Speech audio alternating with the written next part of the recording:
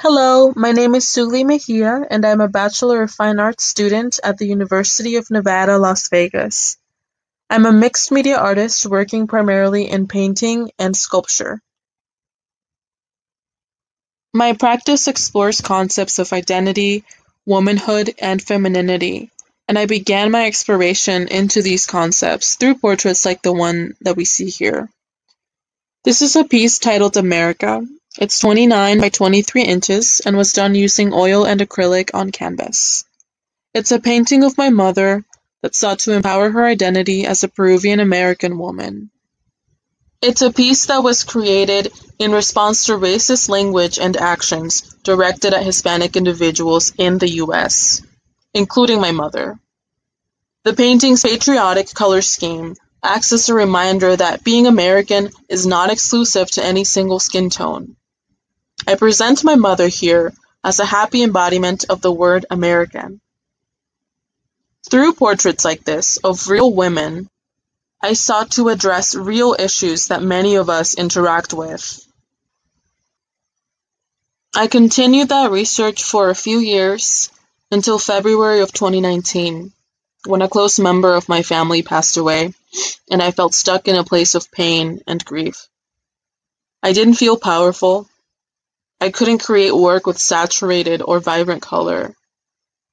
This self-portrait titled White on White allowed me to express those emotions and extend the message of empowerment to myself by being vulnerable and using my work as a tool to heal.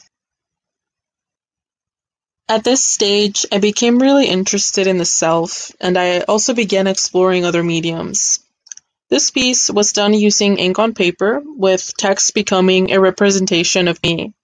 I consider this work a self-portrait because it's an expression of my internal struggles as a multiracial and multicultural individual. Of Peruvian, Italian, Spaniard, African, and German descent. I approached this work in a manner that felt therapeutic and allowed me to navigate these overlapping identities.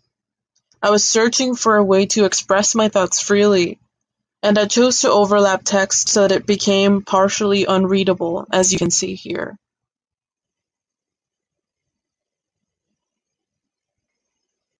Soon after, I was part of an exhibition titled Tasteful Nudes, and when the other artists and I discussed this theme, we realized we were interested in creating a space where the concept of refined nudity could be deconstructed and redefined to be more inclusive about representation. I created two pieces, Self-Portrait 1, which we see here, and Self-Portrait 2, which we will see next.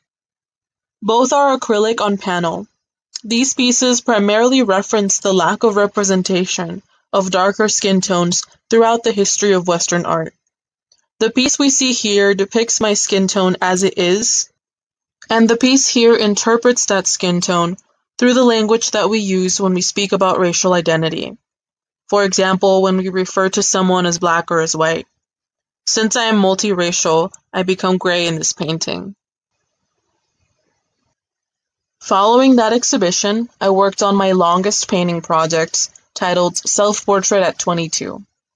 This is a life-size, naked self-portrait that I created as a way to empower myself throughout my life. This piece is part of a series of works that I will be making every five years to capture who I am and what I look like at different ages. It's a piece that really stemmed out of my desire to show appreciation to my body, but also as a way to publicly express frustration for the way that our culture, and the media in particular, shame women for being human.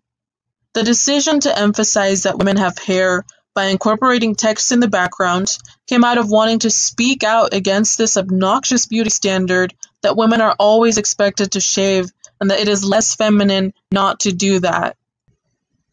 We're taught this from a young age through advertisements in television and magazines. Women who shave are shown with glowing legs, attracting the attention of men and the admiration of women. But women who don't shave are portrayed being rejected and bullied. So through this painting, I really sought to challenge that by depicting myself not following an unrealistic ideal, but instead embracing my body hair and being honest about what I look like and what my grooming preferences are. Here I'm just showing a detail of the face. I painted myself wearing glasses because of how significant that is to my identity, in that I've been wearing glasses since I was like two years old.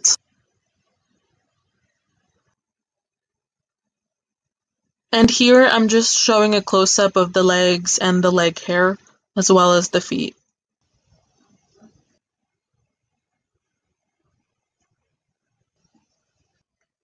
After completing that piece, I decided to explore a different medium, and I became interested in sculpture.